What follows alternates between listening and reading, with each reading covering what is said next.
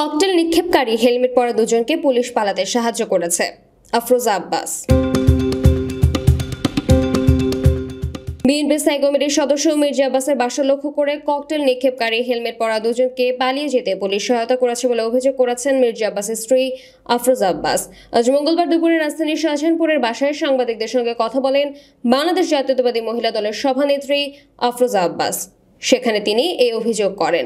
অভিযোগ করে আফরোজ আব্বাস জানান, তার দারোয়ান বলেছে, কালো পোশাক ও হেলমেট পরে দুজন হামলা করেছে। তারা একই মোটরসাইকেলে ছিল। বাসার বাইরে পুলিশের তিন থেকে চারটি মোটরসাইকেল ছিল। হামলাকারীদের ধরার জন্য দারোয়ান পুলিশকে বলেন, কিন্তু পুলিশ তাদের না ধরে পালিয়ে যেতে সহায়তা করেছে।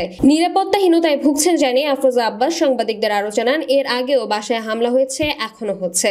ছাত্রলীগ, যুবলীগ সারা দেশে এমন তাণ্ডব চালিয়ে বিরোধীদের উপর চাপিয়ে দিচ্ছে। পুলিশ তাদের প্রশ্রয় দিচ্ছে। এই হামলার ঘটনায় তিনি দেশবাসীর কাছে, বিশ্ববাসীর কাছে বিচার চান। সরকার দলীয় লোকজন মির্জা আব্বাসের বাসায় ককটেল নিক্ষেপ করেছে দাবি করেন আফরোজা আব্বাস। তিনি জানান, তিনি পুলিশকে বলেছে, ওদের প্রশ্রয় দিচ্ছেন তারা। ওদের সামনে থাকেন তারা, পেছনে থাকেন তারা। আজকে যারা হামলা করেছে, তারা অবশ্যই সরকার দলীয় লোকজন। প্রশাসনের সহায়তায় এই হামলা করেছে। এ ঘটনায় প্রশাসন তাদের সহযোগিতা করেছে।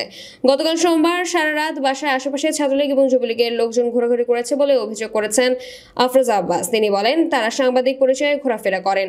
সিসি ক্যামেরা আছে, বাসায়ও আছে, রাস্তায়ও আছে, কিন্তু এটার জন্য হয়তো তাদের ছেলেদের দোষারোপ করা হবে।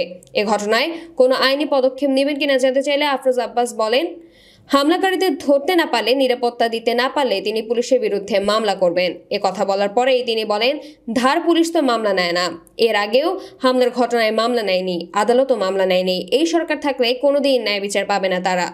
মির্জা আব্বাসের বাড়ির নিরাপত্তার দায়িত্বে থাকা রেজাউল করিম গণমাধ্যমকে জানান, আজ সকাল আটটার দিকে মির্জা আব্বাসের বাড়ির ভেতরে দুটি ককটেল ছুড়ে মারে দুর্বৃত্তরা। একটি ককটেল বিস্ফোরিত হয় এবং একটি অবিস্ফোরিত অবস্থায় থাকে। পরে পুলিশ এসে অবিস্ফোরিত ককটেল উদ্ধার করে নিয়ে যায়।